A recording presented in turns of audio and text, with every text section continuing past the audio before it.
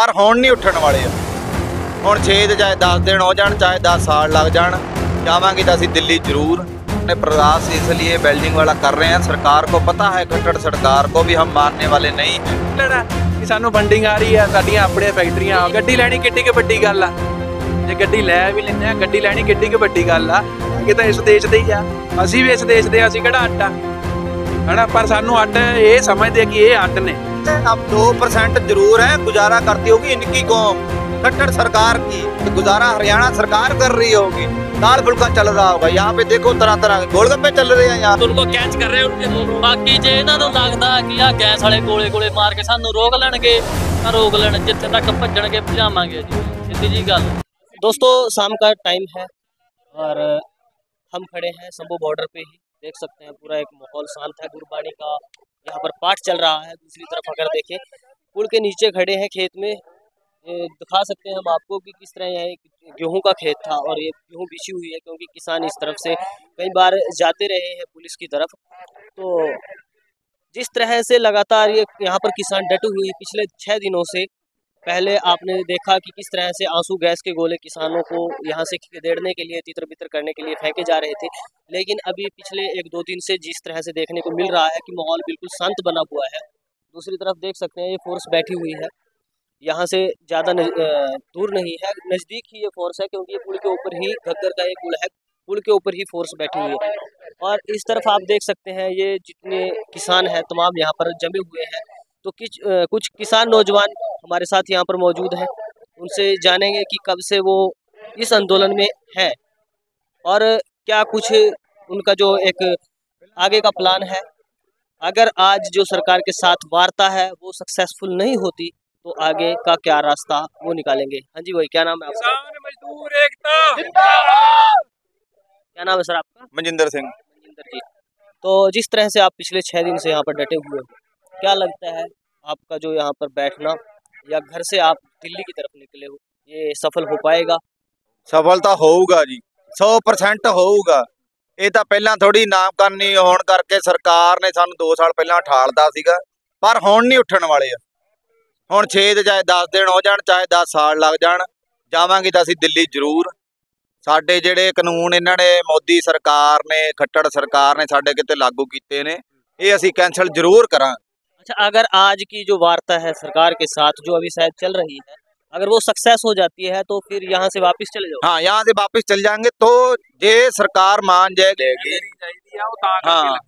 ठेकान जो इन्होंने बनाए हैं मान लेंगे फिर हम वापस चल जाएँगे। एमएसपी की जो मांग है अगर उसको सरकार मान लेती है तो आप हाँ, फिर हम वापस जाएँगे नहीं तो आगे कोई जाएँगे दिल्ली को। अच्छा हाँ।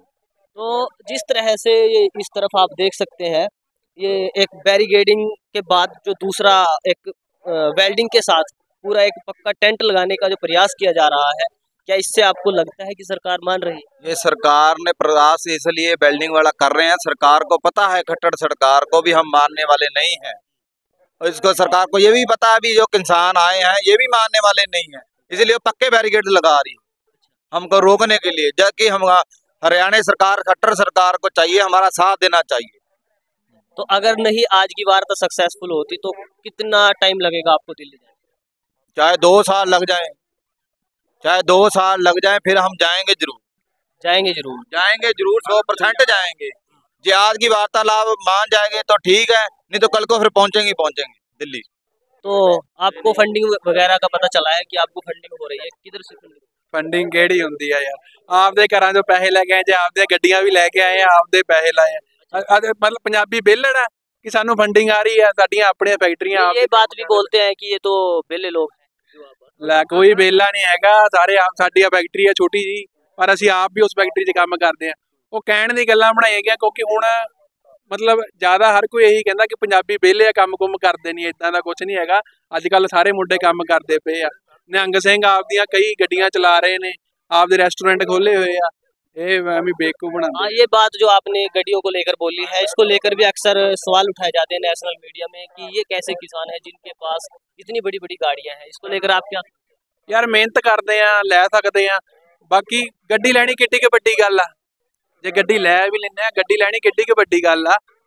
ਤੇ ਨਾਲੇ ਜ਼ਰੂਰੀ ਨਹੀਂ ਹੈਗਾ ਕਿ ਹਰ ਬੰਦਾ ਉਹ ਗੱਡੀ ਕੈਸ਼ ਹੀ ਚੱਕ ਕੇ ਲੈ ਕੇ ਆਂਦਾ ਕਿਸ਼ਤਾਂ ਕਰਾਂਦਾ ਅਗਲਾ ਹੋਰ 100 ਜੇ ਮਿਹਨਤ ਕਰਦਾ ਆਪਣੀ ਕਿਸ਼ਤਾਂ ਵੀ ਤਾਰਦਾ ਉਹ ਐਡਾ ਦੀ ਐਦਾਂ ਦੀ ਕੋਈ ਗੱਲ ਨਹੀਂ ਹੈਗੀ ਲੋਕੀ ਲਿੰਦੇ ਨਹੀਂ ਹੋਰ ਜਿਹੜੇ ਆਂਦੇ ਆ ਪੰਜਾਬ 'ਚ ਦੂਰੋਂ ਕੰਮ ਕਰਨ ਉਹ ਵੀ ਤਾਂ ਲਿੰਦੇ ਆ ਉਹਨਾਂ ਕੋਲ ਕਿੰਨੀਆਂ ਮਹਿੰਗੀਆਂ ਮਹਿੰਗੀਆਂ ਗੱਡੀਆਂ ਕਿੰਨੀਆਂ ਵਧੀਆ ਗੱਡੀਆਂ ਚੱਕ ਕੇ ਲੈ ਕੇ ਆਂਦੇ ਆ ਉਹ ਉਹ ਵੀ ਤਾਂ ਲਿੰਦੇ ਆ ਤੇ ਅਸੀਂ ਨਹੀਂ ਲੈ ਸਕਦੇ अच्छा कैसा लगता है जिस तरह अ, जब इस यहाँ पर एक पूरा माहौल देखते हैं जैसे भारत या चीन का बॉर्डर हो क्या आपको भी ऐसा महसूस होता है कि हम दूसरे देश के साथ ਹੁਣ ਤਾਂ ਲੱਗਣ ਲੱਗ ਗਿਆ ਪਹਿਲਾਂ ਨਹੀਂ ਲੱਗਦਾ ਹੁੰਦਾ ਸੀ ਹੁਣ ਤਾਂ ਲੱਗਣ ਲੱਗ ਗਿਆ ਕਿ ਅਸੀਂ ਅੱਡ ਆ ਸਾਡੇ ਤੋਂ ਨਫ਼ਰਤ ਹੁੰਦੀ ਹੈ ਇਹਨਾਂ ਨੂੰ ਪਰ ਸਾਡੇ ਮਨ ਪਤਾ ਨਹੀਂ ਹਲੇ ਵੀ ਇਦਾਂ ਦੇ ਅਸੀਂ ਖਿੱਚ ਨਹੀਂ ਖਾਂਦੇ ਸਾਨੂੰ ਇਹ ਲੱਗਦਾ ਜਿਹੜੇ ਖੜੇ ਆਰਮੀ ਵਾਲੇ ਇਹ ਸਾਡੇ ਤੋਂ ਹੇਟ ਨਹੀਂ ਕਰਦੇ ਸਰਕਾਰ ਨੇ ਇਹਨਾਂ ਨੂੰ ਖੜਾਇਆ ਹੋਇਆ ਤੇ ਇਹਨਾਂ ਦੀ ਡਿਊਟੀ ਹੈ ਇਹਨਾਂ ਨੂੰ ਖੜਨਾ ਹੀ ਪੈਣਾ तो मतलब जो फोर्स बैठी है वो भी अपने हैं आप उनको अपने ही समझते हैं लेकिन उनकी तरफ से जिस तरह से गोलाबारी यहाँ पर की गई है आंसू गैस के गोले जो एक्सपायर डेट थे वो भी फेंके गए हैं और उसके अलावा रबड़ जो गन है उनका भी इस्तेमाल किया गया है फिर भी आप उनको अपना मान रहे हैं कैसे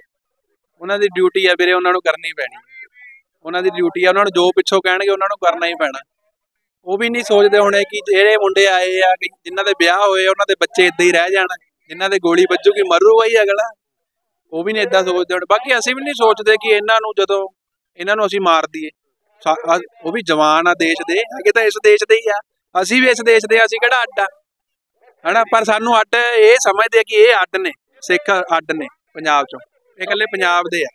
तो कोई दुश्मनी नहीं है इनके साथ ਸਾਡੀ ਕੋਈ ਦੁਸ਼ਮਣੀ ਵੀਰੇ ਮੁਸਲਮ ਭਾਈ ਈਸਾਈ ਭਾਈ ਹੋਰ ਵੀ जो- जो फोर्स यहाँ पर बैठी है ਖੱਟੜ ਸਰਕਾਰ ਵੀ ਸਾਡੀ ਹੋਈ ਆ नहीं, जो फोर्स यहाँ पे बैठी फोर्स भी साड़ी हुई है वीरे जो भी यहाँ पे लगे हुए हैं जो भी इधर के हैं चाहे उधर के हैं सारे हमारे भाई भाई ही हैं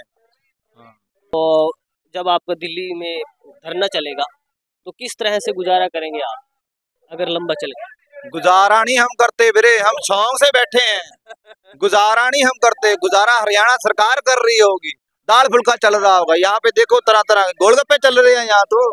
गोलगप्पे चल रहे हैं गुजारा हरियाणा सरकार करेगी हम नहीं करेंगे। अच्छा गोलगप्पे मैगी वगैरह सब कुछ चल रहा है सब कुछ। यहाँ तो फिर आपने पूरा मेला लगा हम मेला लगा हुआ है हमारा तो यहाँ पे हाँ जी। पूछते हैं कि आप भी खाओ। आप भी खाओ। आप भी खाओ खाना खुना खा लो आराम से फिर लड़ो। उनसे ऐसे है। तो लड़ने के लिए भी बोलते हो आप हाँ वो अगर गोले फेंकेंगे तो हम तो लड़ेंगे ना फिर हम तो उनको कैच कर रहे हैं उनके दोनों ਬਾਕੀ ਜੇ ਇਹਨਾਂ ਨੂੰ ਲੱਗਦਾ ਕਿ ਆ ਗੈਸ ਵਾਲੇ ਗੋਲੇ ਗੋਲੇ ਮਾਰ ਕੇ ਸਾਨੂੰ ਰੋਕ ਲੈਣਗੇ ਤਾਂ ਰੋਕ ਲੈਣ ਜਿੱਥੇ ਤੱਕ ਭੱਜਣਗੇ ਭਜਾਵਾਂਗੇ ਅਸੀਂ ਤਾਂ ਜੀ, ਸਿੱਧੀ ਜੀ ਗੱਲ ਆ ਪੰਜਾਬੀ ਬੰਦਾ ਨਹੀਂ ਡਰਦਾ ਵੀਰੇ ਮੁੱਕ ਦੀ ਗੱਲ ਇਹ ਆ ਪੰਜਾਬੀ ਬੰਦਾ ਕਦੇ ਨਹੀਂ ਡਰਦਾ जिगरा है नहीं भाई, ये तो जिगरा। अभी तक करीब दो तीन लोग एक्सपायर भी हो चुके हैं किसान यहाँ पे और लगभग 200 के आसपास घायल भी हो चुके हैं तो ਇਹ ਖੱਟਰ ਨੂੰ ਲਾ ਲੈਣਗੇ ਮੂਰੇ ਡਰਦੇ ਡੁਰਦੇ ਨਹੀਂ ਹੈਗੇ अच्छा हम दो परसेंट जरूर है गुजारा करती होगी इनकी कौम खट्टर सरकार की हमारी नहीं हमारी तो बीस रुपए की अभी तक एफ नहीं टूटी है ये गुजारा ये करते हैं हम नहीं करते हमारी तो बीस की अभी तक एफ नहीं टूटी है ਸਾਡੇ ਤਾਂ ਬਾਬੇ ਨਾਨਕ ਦਾ ਲੰਗਰ ਚੱਲਦਾ ਇਹ ਕਦੇ ਨਹੀਂ ਖਤਮ ਹੋ ਸਕਦਾ ਇਹ ਬੋਲੇ ਸੋਨੇ ਕਿਸਾਨ